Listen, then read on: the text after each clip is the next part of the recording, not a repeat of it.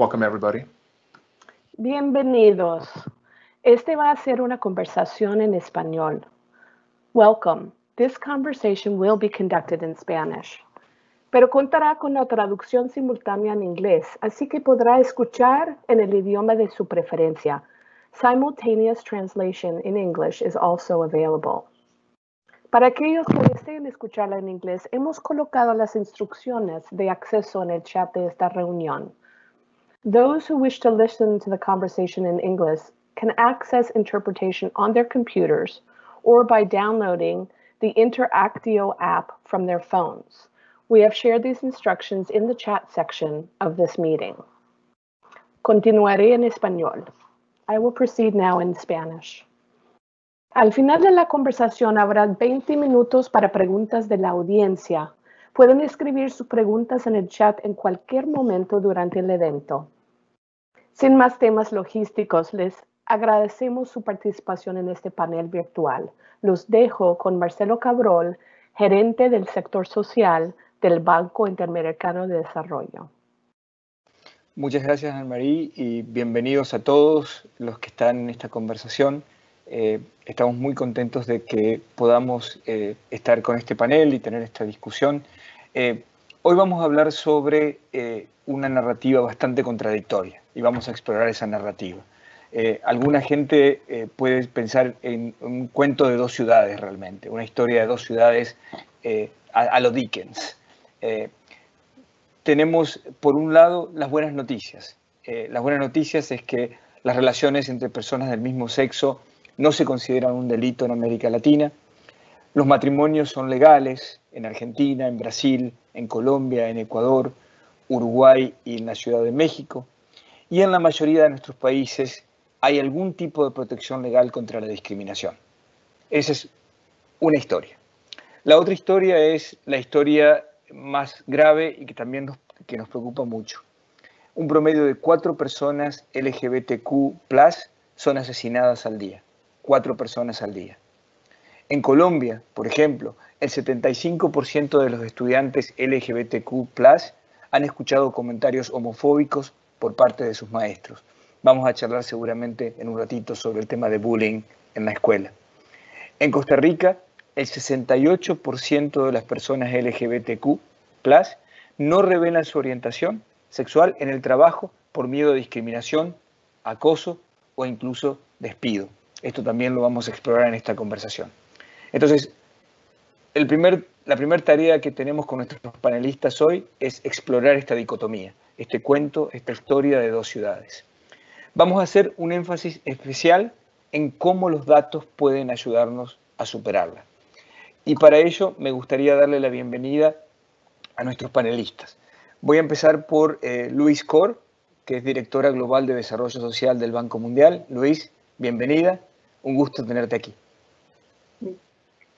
Gracias, es encantado de estar aquí con ustedes hoy día.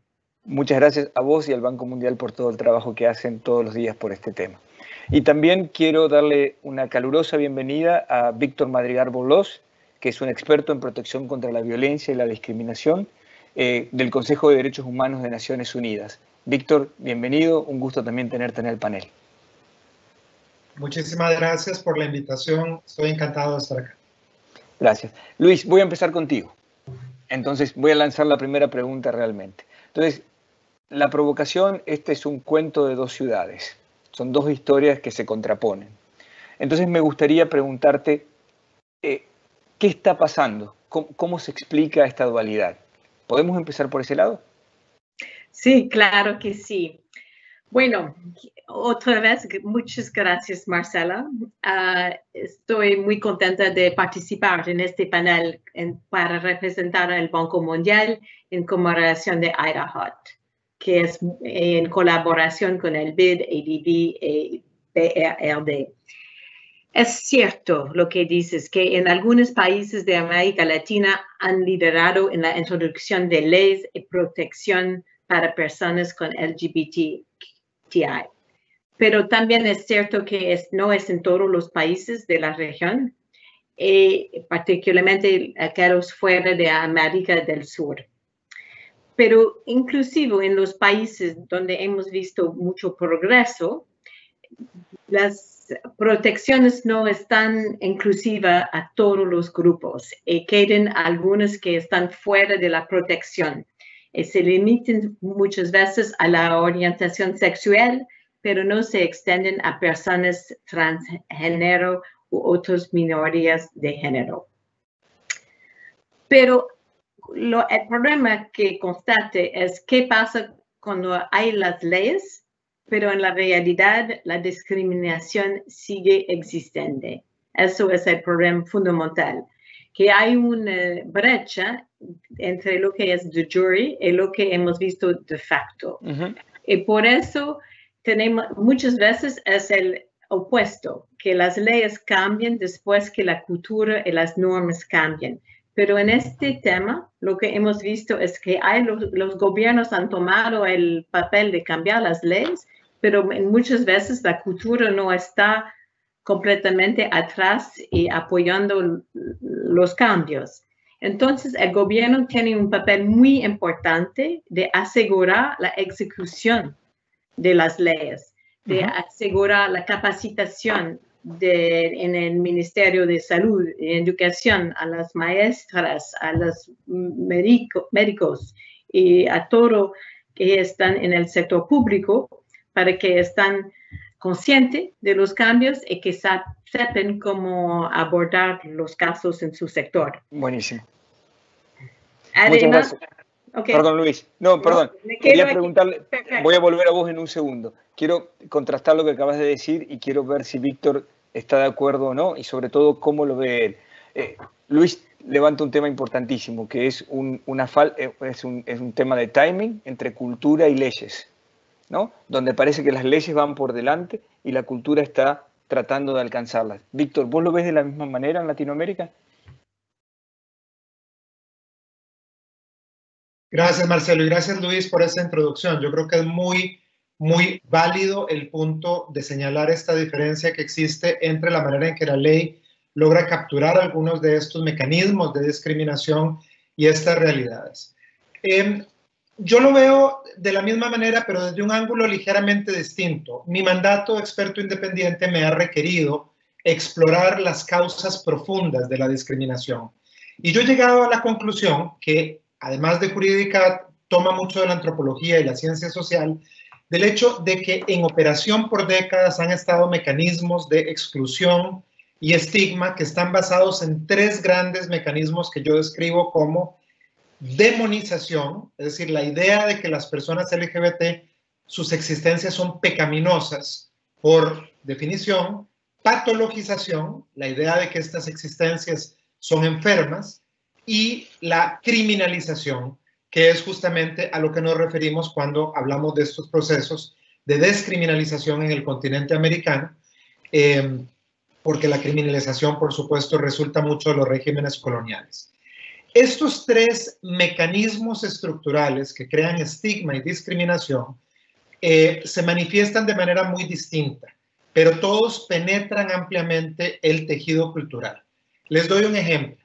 Durante décadas, la homosexualidad estuvo incluida dentro del capítulo de enfermedades mentales, las clasificaciones internacionales de, eh, de, enfermedades. Y eso es lo que celebramos en Idaho. En, en, el Día Internacional contra la Homofobia, la Transfobia, Bifobia, se celebra la despatologización de la homosexualidad hace 30 años. La identidad de género, es decir, las identidades trans, únicamente son despatologizadas el año pasado, hmm. en el año 2019, 29 años después. ¿Qué significa esto? Significa que en un caso como en el otro, ha habido generaciones de médicos y operadores del sector justicia y familias que se han nutrido de la percepción de que sus hijas, hijos, hijas son personas enfermas que tienen que ser curadas. Y aun cuando se haya retirado de, la, de, la, clasificación de enfermedades hace ya 30 años la homosexualidad, continúa operando de una manera absolutamente eh, ampliada en nuestro continente, por ejemplo, las terapias de conversión. Eh, centenares de centros de terapias de conversión operan en la idea que ha penetrado en la sociedad de que estas existencias son enfermas. Entonces, ahí creo que justamente el punto que hace Luis, que es cómo representa la ley el cambio de percepciones sociales o en algunos casos se constituye en motor de cambio social. Y eso es algo que obviamente tenemos que estudiar en este contexto. Ok, Víctor, pero a ver, si, si esto es verdad lo que dice Luis, que la, ley eh, eh, eh, está por delante, en este caso, de la cultura o de los cambios sociales, y entiendo bien tu punto, digamos. ¿qué se puede hacer? Porque yo he aprendido que cambiar cultura a veces es mucho más difícil de cambiar leyes.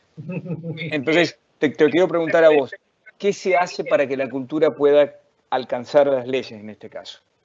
Eh, a este respecto. Primero, en el campo de los derechos humanos del es en el que tenemos evidencia clara de que el cambio cultural es posible en una generación.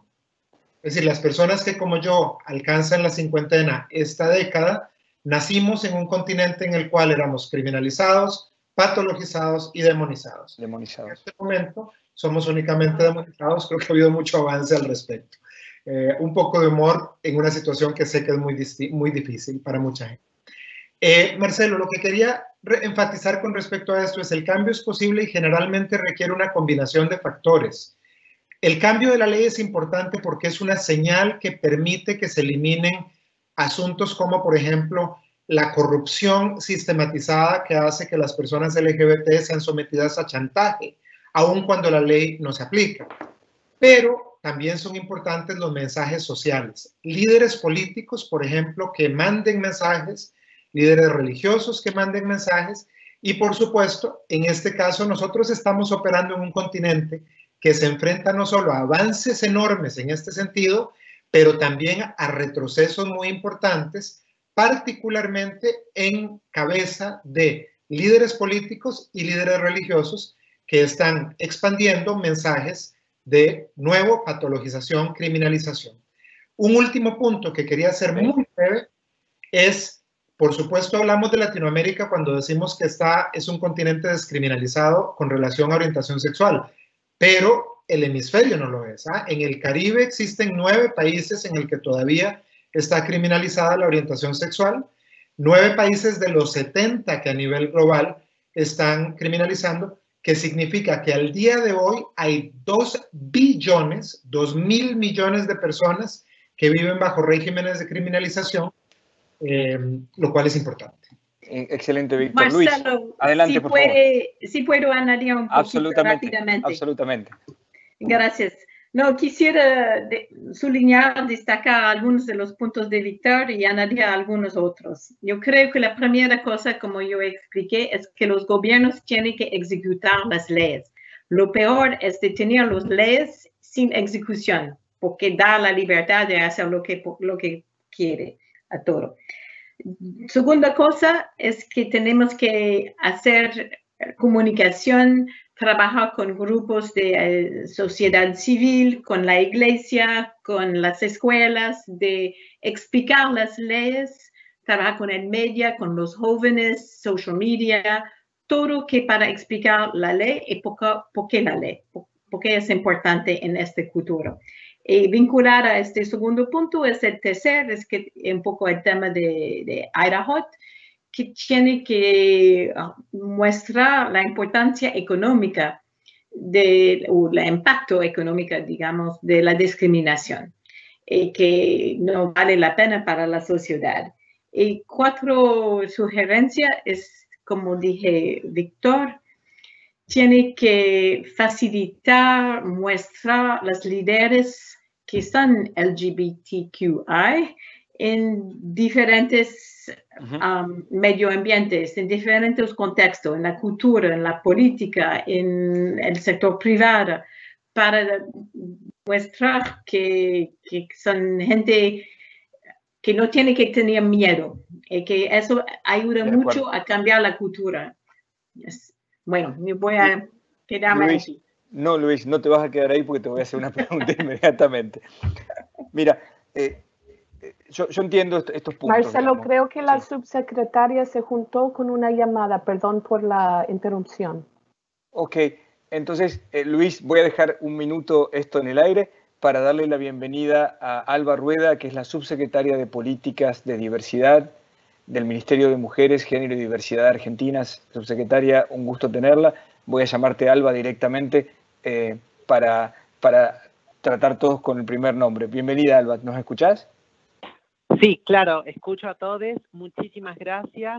Buen día eh, aquí desde Argentina. Así que bueno, muchas gracias por la invitación. Lamentablemente tuvimos algunas dificultades técnicas, por eso estamos en una llamada. Este es el nuevo mundo, ¿ok, Alba? Eh, dificultades técnicas son parte de este nuevo mundo, así que estamos muy contentos de tenerte en esta conversación.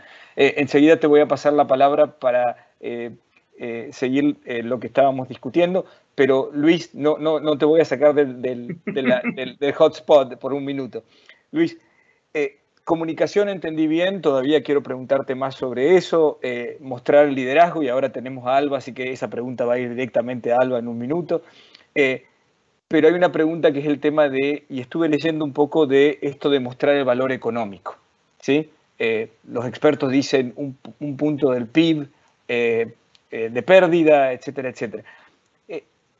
yo te confieso que soy escéptico de ese argumento.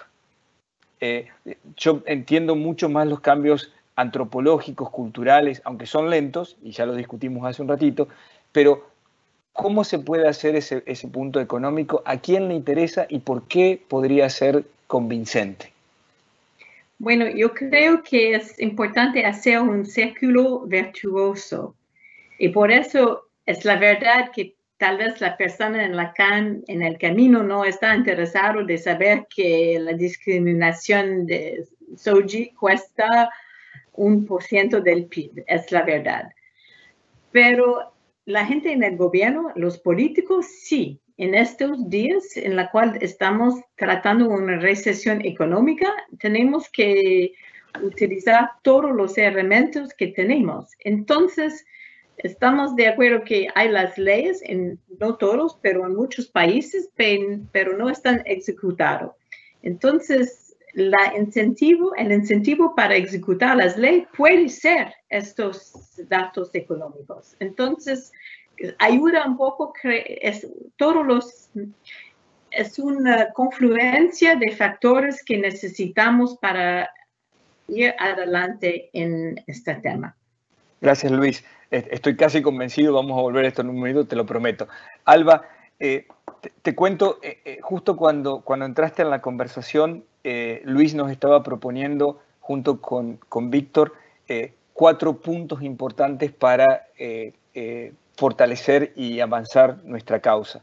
decía leyes que son muy importantes, discutimos que las leyes están un poquito por delante de la cultura en nuestros países, pero esto lo lo, discutimos un ratito. Eh, después habla Luis de comunicación, de comunicar esto, de, usar todos los canales que existen, líderes, sociedad civil, gobierno, todo el mundo comunicando la importancia de este tema desde el punto de vista de derechos humanos y hablamos también del tercer punto, leyes, comunicación, la parte económica que le acabo de preguntar a Luis y por último el tema del valor del liderazgo de, eh, LGBTIQ eh, eh, la importancia de tener liderazgo y la importancia de mostrar líderes que puedan marcar el camino.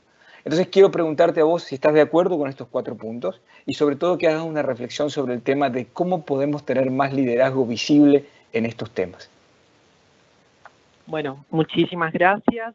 Quisiera quizás anteponer a la propuesta de considerar las leyes como ese paso adelante de nuestras sociedades, quizás recuperar algo de nuestra historia, de nuestra historia social, política en Argentina y creo que en la región también, y es principalmente la fuerza de los movimientos sociales, eh, de las organizaciones sociales, y creo que puntualmente, por ejemplo, en Argentina, el debate por matrimonio igualitario previo a la ley de eh, matrimonio igualitario, lo que permitió fue realmente transversalizar ese debate a toda nuestra sociedad, con lo cual realmente creo que ahí hay un sujeto político fundamental para estos cambios sociales, que es la historia, la memoria y la política de, nuestra, de nuestras agendas, y creo que se representan perfectamente con los movimientos sociales, con lo cual el liderazgo y la transformación de nuestras instituciones están siempre este, adelanta, eh, bueno, vienen detrás, en nuestras experiencias de lo que implica la lucha social del liderazgo ya de las organizaciones sociales, de los movimientos sociales. Creo que en ese sentido, también en los encuadres o en las realidades que estamos viviendo actualmente, este, digamos, por ejemplo, atravesando todas estas eh, situaciones de emergencia sanitaria a través del COVID, no, ahí se ve nuevamente ese rol de liderazgo, de transversalidad, territorialidad que implican, este, digamos, la función y, la, y el cumplimiento de, una, de un reclamo histórico que es el de las organizaciones sociales. Concretamente, el aspecto económico yo también lo, pongo en, un profundo valor también de distribución y, pienso justamente que las eh, políticas públicas hoy no pueden desconocer este aspecto, sobre todo en lo que implican los trayectos de vida de nuestras poblaciones LGBT. Mm. Nosotras aquí trabajamos muchas veces desde la estructura de, de esas violencias, considerando justamente a la población trans como una de las poblaciones excluidas puntualmente por su identidad de género, por nuestras identidades de género, este, y en ese sentido creo que poder este, pensar las políticas de distribución, las políticas económicas, las políticas de reparación histórica, constituyen ejes fundamentales para poder considerar los aspectos económicos como fundamentales también. De acuerdo. Por supuesto coincido con esta perspectiva que implica trabajar también los, eh, los cambios sociales y culturales como transformadores, son nuestras herramientas en la transformación social.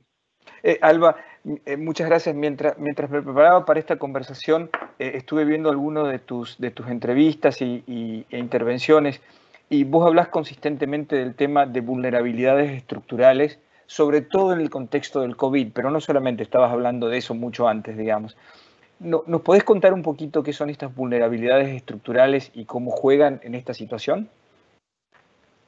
Sí, nosotras puntualmente podemos, y, de, nuevo, digamos, eh, quizás utilizando metodológicamente nuestras realidades eh, trans en Argentina, poder observar justamente en cómo funciona esa estructura. Todo, el grupo poblacional trans, este, podemos mencionar que no hay, que, perdón, que todos los estudios sociales sobre la población trans en Argentina dan cuenta de datos este, que son críticos y que son comunes también. La falta de acceso a un empleo formal, las, este, digamos, la, falta, la expulsión en los hogares, la expulsión en los ámbitos educativos, el trayecto de vida de las personas trans, eh, las expectativas de vida de 40 años aquí en Argentina, es un dato concreto que atraviesa todas nuestras generaciones y las generaciones pasadas incluso con 35 años, las presencias de, este, digamos, de de situaciones de salud, de, enorme expulsión en los sistemas de salud. Digo, son, son aspectos comunes de la discriminación que se traducen en prácticas consistentes e institucionalizadas. Este, y por eso también eh, la tensión entre, entre los modelos, este, digamos, de, de, un Estado que, que, pueda transformar esas realidades en políticas públicas para la integralidad de, la, de las personas. Em, un aspecto crítico, por ejemplo, en el tema del COVID, fue que muchas de las personas trans están en prostitución callejera, puntualmente, este, digamos, de vuelta, recurriendo a esos estudios sociales, más del 80% de la población trans en Argentina está bajo esas circunstancias y cuando en Argentina se adoptó el aislamiento social preventivo y obligatorio, este, digamos, una medida de alto control también este, a través de las fuerzas de seguridad, lo que ocurrió fue que muchas de las compañeras de las personas trans no tuvieron oportunidad este, de, tener el ingreso para poder comprar comida y este efecto en cadena que ocurrió, que fue desalojos de los hoteles donde, donde vivían, incluso exposición al tema de COVID, muchas de ellas se encontraban con, este, digamos, inmunosuprimidas en su salud, con lo cual digamos, hace falta un enfoque integral de todos estos temas. Buenísimo, Alba. Te agradezco mucho. Eh, eh, hablaste, dijiste varios datos y, acá quiero hacer una reflexión. Eh, también, mientras miraba datos para esta conversación, los datos que más me llamaron la atención era que consistentemente todos los datos eran sobre la falta de datos. Y esto no es un juego de palabras. esencialmente lo que encontré aquí es una gran eh, un gran vacío de evidencia empírica para poder tomar decisiones. Eh, Entonces, eh, Víctor, te voy a preguntar a vos y también a Luis eh, en un minuto. Primero, si mi percepción de la falta de datos es real, espero que sea así, pero espero también que se pueda solucionar ese problema. ¿Cómo podemos trabajar mejor para tener datos que nos permitan hacer mejores políticas en este tema? Víctor. Sí, gracias. Em, para mí, eh, eh, primero que todo, hay que eh, hacer referencia a lo que son los obstáculos fundamentales para la recopilación y el manejo responsable de datos. y eso obviamente depende en muchos casos de la decisión política de simplemente tomar el paso de incluir las existencias LGBT dentro de los patrones de recabo de datos estadísticos de todos los estados. Tu percepción no es equivocada. Eh, existen grandes vacíos de información en todo el mundo, pero lo que además es muy problemático es que los lugares a donde existe información generalmente es en el norte global y en poblaciones muy particulares del norte global. Hay, por ejemplo, un énfasis muy pronunciado con respecto a datos de hombres gay urbanos. Entonces, lo que nos invitabas a, representar al inicio de esta conversación, que era el cuento de dos ciudades, en muchos casos no es el cuento de dos ciudades, es el cuento de una población dentro de la ciudad y una población completamente distinta fuera de la ciudad. Entendido. La simetría se ven de esa manera. ¿Qué es lo que, lo que, obviamente lo que es importante es esa decisión política de recopilación de datos? En este momento, en la gran cantidad de, países en los cuales trabajamos, los datos están siendo recopilados por la sociedad civil, con las limitaciones que este tipo de trabajo conlleva, porque la sociedad civil obviamente no tiene los medios para hacer recopilación integral de datos y en muchos casos está segmentada o truncada de acuerdo con las posibilidades de acceso a financiamiento que se hmm. tengan. Entonces es muy importante eh, eh, tener presente que esa inserción dentro de los sistemas de recopilación de datos es fundamental. Pero aquí necesito hacer dos puntos muy fundamentales. Y es, no se puede recopilar datos de manera integral en contextos de criminalización. ¿Por qué? Porque básicamente constituye preguntarle a las personas eh, sobre lo que prácticamente es una autoincriminación en un contexto hostil, en un contexto en el cual los datos que van a ser recopilados no existe ninguna garantía que van a ser utilizados para perseguir a las personas en lugar de protegerlas. Eso, criminalización y contextos hostiles es una gran limitación. Y segundo, todo ejercicio de recabo de datos tiene que estar rodeado de un sistema de garantías muy particular. Yo las identifiqué en mi informe al Consejo de Derechos Humanos de Naciones Unidas del año 2019 son una serie de garantías que tienen que existir. ¿Por qué? Porque, por ejemplo, la recopilación de datos tiene que estar sometida a la legalidad, tiene que tener un fin útil, tiene que estar eh, rodeada de buena información eh, al sujeto que, brinda la data. Y ahí hay un último elemento que me gustaría traer, que es la, la fragilidad de las vicisitudes políticas. ¿Qué ocurre cuando un gobierno muy eh, amigable, digamos, a las existencias LGBT, decide recabar datos y luego hay un cambio político y viene un gobierno absolutamente adverso. ¿Qué sucede con la data? ¿A dónde está recopilada? ¿Cómo puede ser utilizada? ¿Cuáles son las reglas? Son cosas que es esencial resolver antes de poder realizar ejercicios. De acuerdo. Luis, criminalización, sistemas de garantía y cambio político. Eh, las barreras o por lo menos eh, lo que sería un círculo que puede ser vicioso o virtuoso para tener más datos. ¿Estás de acuerdo? ¿Le falta algo? ¿Tenemos que entenderlo de otra manera? No, estoy completamente de acuerdo con, con Víctor. Quisiera y contigo y con usted que hay una falta de datos importante y cuando hay datos están estudios es particular, eh, no puede comparar dentro de los países, dentro de los sectores. Yo estoy de acuerdo con Víctor que tiene que trabajar con las oficinas de estadística nacional para poner preguntas sobre su sexualidad para entender y estudiar más los impactos. La región de América Latina es adelante todos los otros porque ya tiene un sistema armonizado de encuestas de hogares, CETLAC y CETLAS, que puede ser muy útil como una esfuerzo para, para colectar datos sobre su identidad sexual. Y eso es algo que el Banco Mundial, BID, estamos ya trabajando muchos años en estos temas de, datos armonizados y deberemos seguir um, empujando el debate. Pero el problema, la pregunta que me, me, han dado es qué hace cuando es ilegal y no puede ponerlo en la encuesta de la Oficina Nacional de Estadística. En estos casos, sí puede hacer algo, es más innovadora hay preguntas sobre en el social media, puede ser encuestas online que son más anónimas, pero eso eh, muchas veces falta una encuesta representativa, pero ah, por lo menos están datos que de la gente que está online.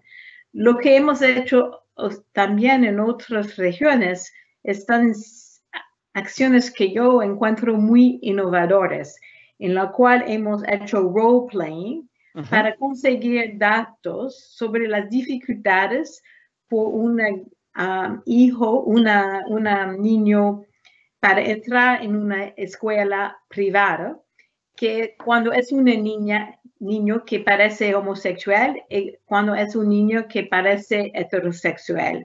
¿Y cuál es la, respuesta diferente de las escuelas privadas enfrentadas con estos dos casos?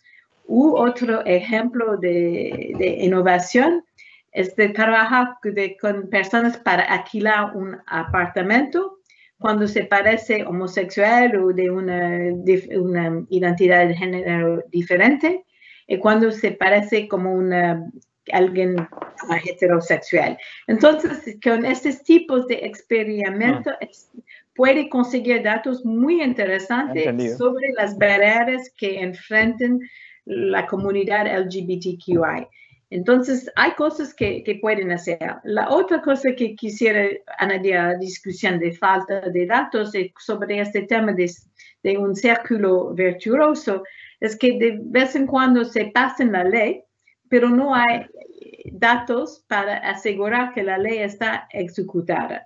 Eh, en este caso, tiene que la ley es adelante los datos, pero facilita la recopilación de los datos. eso es el caso de Uruguay, en la cual había la ley integral para personas trans y después el gobierno ha hecho los esfuerzos para para obtener datos desglosados por identidad de género. Entonces, hay diferentes eh, ah, vías para explorar sobre este tema. Gracias, gracias Luis. Eh, Alba, eh, ahora quiero traerlo, quiero aterrizar esto en, en, alguien que está liderando procesos de cambio desde el sector público y tratando de juntar todas estas cosas cómo manejar mejores datos, cómo usar esos datos para que las leyes se cumplan. Eh, cuál es la situación que ves en, Argentina, pero también en la región y, cómo podemos hacer las cosas mejor para que tengamos datos para hacer buenas políticas. Bien, gracias. Eh, por un lado, me parece fundamental hablar de los datos, pero no solamente como en cuestiones de registros, em, y, sino también como eh, en la cuestión política que atraviesan los datos, las políticas públicas que conforman los datos. Y necesariamente hablar de una agenda LGBT, hablar de una agenda, este, digamos, que tenga la profundidad política de, de, lo que se requieren los planteos, por ejemplo, sobre identidad de género, significa colisionar con la estructura binaria y heterosexual que se plantean dentro de la estructura de esos datos, es decir, cómo mira el Estado a la población, cómo registra, y esto, por ejemplo, en Argentina, em, con la ley de identidad de género, esto no se agotó, o sea, esto fue un primer planteo para el reconocimiento de las identidades trans en Argentina, pero a la vez esas, estas identidades, nuestras identidades, no, quedan registradas dentro del sistema de, información este, y esto tiene que ver con que todo el sistema de registros en Argentina tiene una base binaria y que claramente responde a una estructura de familia, una estructura de ciudadanía, una estructura de sujeto, este, eh, digamos, en términos heterosexuales, en términos binarios y en términos, además, históricos. Y ahí quisiera agregar que entonces los datos, este, digamos, no es la única herramienta para transformar, sino también las políticas de memoria que permitan recuperar otro aspecto de estos debates y de, estos, y de estas trayectorias sociales en torno a nuestras democracias. Coincido con, con Víctor en la fragilidad de los recambios, este, digamos, de gobierno que rompen con, la, con procesos de sistematización o de mayor fortalecimiento de las instituciones democráticas, pero creo que efectivamente esos, em, digamos, esos intercambios este, en la vida democrática no son aisladas, de, no son datos aislados de, este, digamos, de, nuestras, este, de nuestros planteos sociales. Creo que efectivamente responden a determinadas tensiones al interior de nuestras sociedades que este, conjugan modelos de país, modelos de sociedad, que también están en disputa. Nosotras atravesamos muchas de estas, de estas situaciones en los últimos años. A mí me gustaría recuperar que entonces, para mí, la generación de datos como parte de la política pública tiene necesariamente que ver con una perspectiva amplia y que va a friccionar y tensionar y no lo hace una funcionaria, sino lo, tiene que hacer un sistema político a este desafío social y cultural. Y por supuesto, nosotras vamos a estar seguramente proponiendo y liderando este tipo de, de cambios y de registros, pero creo que efectivamente cambios tan profundos como necesarios llevan, por supuesto, un desarrollo este, en el tiempo y además un debate también. Acá en Argentina, hasta el, año, pasado, la categoría de, de, persona no binaria estaba tensionando justamente hasta los modos de registro bajo la ley de identidad de género. Es decir, son tensiones que friccionan también algo de nuestra institucionalidad democrática. De acuerdo. aquí Planteo por lo pronto un punto. Sí. No, planteas un punto muy importante y te voy a volver a preguntar entonces. Eh, dos cosas me llaman la atención. Te voy a, esta es una pregunta eh, que puede ser simplista, así que me vas a perdonar si, suena simplista. Dos cosas. Eh, primero, si hablamos de historia y de memoria, uno puede plantear en Latinoamérica, no estoy hablando del caso solamente de Argentina, sino de Latinoamérica en general, de una maduración de los procesos democráticos, con idas y vueltas, ¿no? Pero